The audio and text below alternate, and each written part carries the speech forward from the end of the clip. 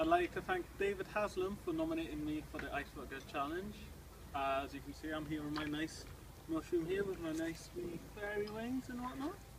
So I would like to nominate Rachel Horner, Greg Tyler, Evan Robbie, and Steve Purevs. Purevs?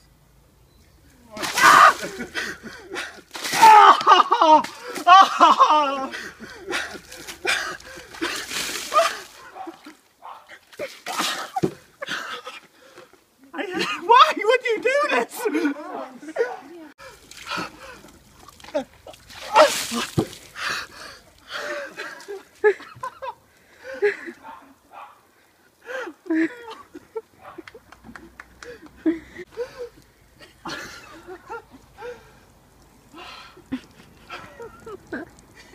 Right, you got 24 hours.